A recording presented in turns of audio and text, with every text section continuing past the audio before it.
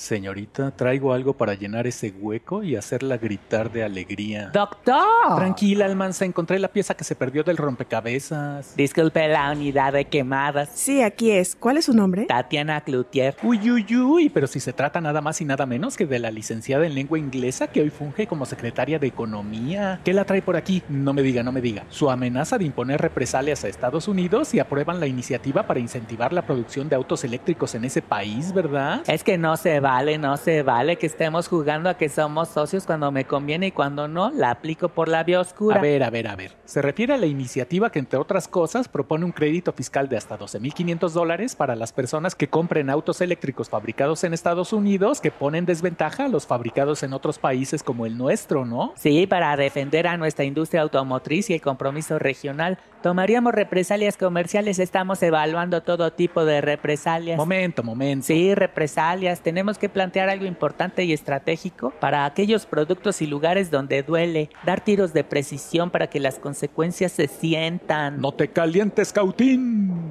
Oiga, entonces usted está en desacuerdo con una ley que ignora los compromisos firmados en el Tratado de Libre Comercio. Totalmente. En desacuerdo con una ley que desconoce lo pactado en la Organización Mundial de Comercio. Así es. En desacuerdo con una ley que prioriza a la industria de una nación sin importar que afecte los recursos que otros países, bajo el amparo de tratados internacionales, han invertido en cualquier sector. Exactamente. Ya.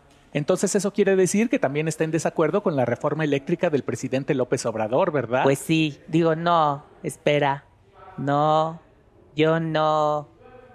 O sea, si significa que entonces... Oiga, y retomando el tema de los autos eléctricos, si se aprueba la ley, ¿qué o qué? Uy, pues estamos evaluando todo tipo de represalias y no es la primera vez que hemos tomado decisiones de esa naturaleza. Represalias, ¡sas! Pero si los tratados internacionales le dan la razón no solo a México, sino a las armadoras y a otros países, ¿no es mejor la vía legal? O sea, ¿qué necesidad de amenazar con sanciones? Sí, sanciones, pero donde duele. Ya, ya. Oiga, y tomando en cuenta que México exporta a Estados Unidos más de lo que importa, si inicia una guerra comercial, ¿qué país cree usted que vaya a resultar más afectado?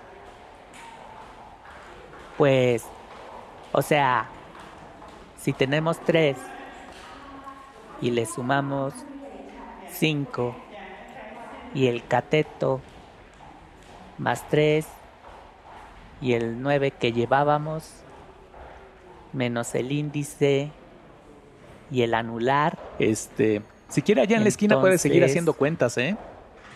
Lo que hay que ver me cae. Nicasio, ¿cuál va a poner hoy en el cineclub? La de Rey Richard, el doctor. Mm, ta, como que Shakespeare no es lo mío. No, el doctor, es la historia de Richard Williams, quien a pesar de las carencias y falta de diversidad en el deporte, impulsa a sus hijas Serena y Venus a convertirse en las mejores tenistas de su generación y posiblemente de la historia. O sea que es de esas historias del papá aferrado a un sueño. Ándele, de esas en las que obligan a los hijos a dar el máximo cada segundo hasta que final y afortunadamente comienzan a tomar los deseos de ellos en cuenta. ¿Y quiénes salen? Pues haciendo la del papá sale el Wish Smith, o sea, el príncipe del rap. Haciendo la de la mamá sale la Aunjanue Egis, o sea, la Yule Mae de Historias Cruzadas. Haciendo la de la Serena sale la Demi Singleton, o sea, la Margaret en El Padrino de Harlem. Y haciendo la de la Venus sale la Sanilla Sidney, o sea, la Constance de Talentos Ocultos. ¿Y vale la pena? Pues es de esas películas hechas para gustar, el doctor, de esas que agarran una buena historia y programan cada uno de los elementos para tocar todas las fibras de la audiencia, ya sabe, el reto, el dolor, la decepción, la motivación, la música, la derrota y el triunfo, y logran que uno salga del cine o dispuesto a mejorar o dispuesto a meter a sus hijos a entrenar un deporte de forma intensiva para convertirlos en estrellas. Ah, pues con eso tengo y de comer. Pues gracias a la generosidad de los benefactores que ya se unieron a este canal, dándole clic al botón de unirse. Ajá. Fish and chips, el doctor. ¿Y ahora por qué o qué? Pues porque me gustan y porque imagino que es lo que la gente ha de comer saliendo de Wimbledon. Ah, pues sí. Ahí le caigo pues. Y entonces, señorita, ¿vamos por el equipo de fútbol o nos conformamos con un ajedrecista? Señorita, señorita, uh,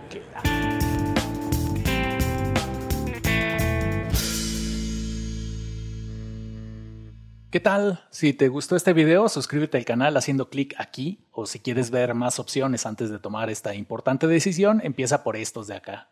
Gracias.